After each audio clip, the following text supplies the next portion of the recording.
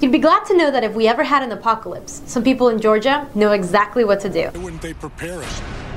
Ancient prophecies. I assume that when he went outside and saw no giant scorpions, that struck him as very odd. Yeah. Um, yeah, go ahead.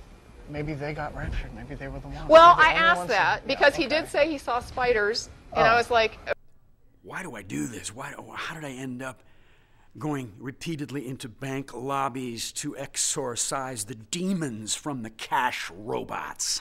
What kind of career is that? Amen. Praise be. was heard. He came down and he touched me, and it was spectacular. You know. When I saw this, I said, "Is this a comedy?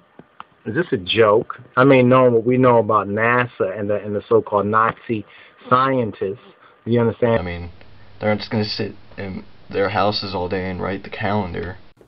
Well, I have some suggestions for the CDC. I think very plainly you should talk to President Obama because this is something we should not play around with. I think that we should have a Secretary of Zombie Affairs, Bruce Campbell.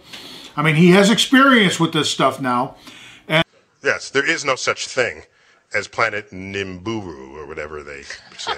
it's just it's just fiction, and it and they cite sources that cite NASA sources. They don't cite NASA. I'm going to read you a couple couple lines in scripture, and I'm going to prove my point specifically. Kingsford, it's good for the soul. to help me to um, persuade the Illuminati into communications or some type of negotiation because they're destroying our world.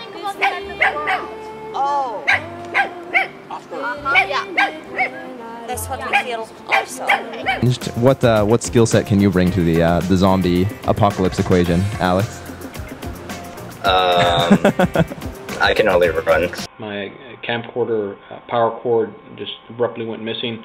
I didn't know if that was a sign from the Lord or a sign from the adversary, basically. We're not created to suffer. We were not created to get old and sick and die and suffer and all these diseases. We were not. because you're going to sick these uh, drac- draconian reptilians on us.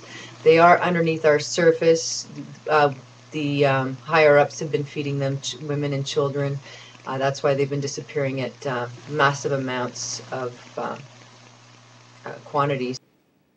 Would you guys like to see that or no? It's in the middle of the grass. Dad, can that behind stick up? Can that grass bit right inside, at the bottom of it's flooded on the grass? That's what I just said in words that he can understand. They seem to disappear. Duck it!